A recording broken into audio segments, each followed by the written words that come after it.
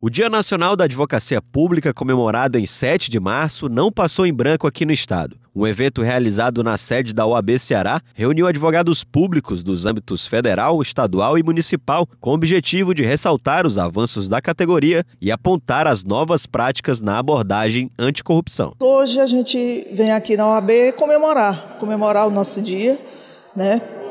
É, como advogados públicos, somos também advogados, né? E a OAB também é nossa casa. Então a gente veio aqui com muita felicidade, atendendo ao convite da conselheira Isabel Cecília, que é nossa colega, advogada da União, comemorar com todos os advogados e com a sociedade cearense o Dia do Advogado Público da Advocacia Pública. Mas o presidente da Comissão Estadual da Advocacia Pública da OAB Ceará relembra que, além do combate, são necessárias ações preventivas e associa a dificuldade de se prevenir a corrupção à falta de pessoal. Colegas da, da Advocacia da União alegam que existem 650 cargos vagos. A grande quantidade dos municípios não tem advogado público concursado, ou são escritórios, são comissionados, ou seja, aqueles advogados que eram para orientar e fiscalizar muitas vezes o gestor, são por eles indicados. Por isso que você vê a quantidade tão grande de desvio. Agora, a Contradoria Geral da União divulgou um estudo que em 95% dos municípios existe fraude de licitações, desvio de recursos. Segundo o um estudo da Associação Nacional dos Procuradores Municipais, apenas um em cada três municípios brasileiros possui procurador concursado. Na região Nordeste, o diagnóstico é ainda pior. Apenas um em cada quatro municípios. Existe a corrupção clássica, a pessoa intencionada com esse desvio de fazer, então, independente de estrutura, de ter pessoal, de não ter, ela vai fazer aquele desvio.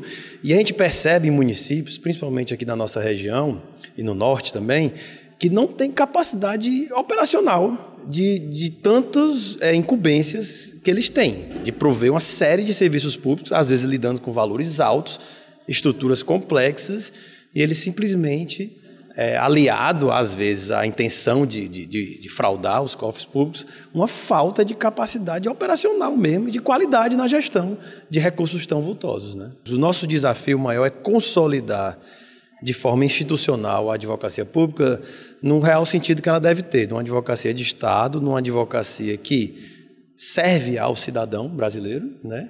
E que visa fazer com que as pessoas, quem usa o dinheiro público principalmente, gaste aquilo corretamente, porque há uma crise de financiamento do Estado e há que se prestar serviços de, com a melhor qualidade possível.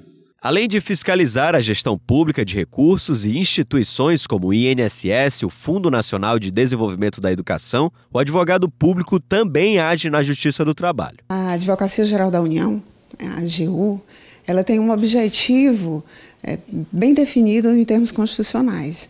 Ela tem um objetivo de representação da União no âmbito judicial, que também passa a ser chamado de contencioso, e no âmbito extrajudicial, além de realizar consultorias e assessoramentos jurídicos relacionados especificamente ao Poder Executivo, nos termos em que ela foi concebida pela Constituição Federal de 1988, precisamente no artigo 131. Em 2018, a Justiça do Trabalho do Ceará atendeu a 58 determinações da AGU, entre cumprimentos de ordens judiciais e solicitações de informações. Por exemplo, no caso de um servidor ter sido demitido, ele ingressa judicialmente, haja vista que administrativamente ele não vai ter direito a essa conversão da licença-prêmio que não foi gozada em pecúnia, porque não tem previsão legal nesse sentido. Então, por estrito cumprimento do princípio da legalidade, a administração pública não vai conceder.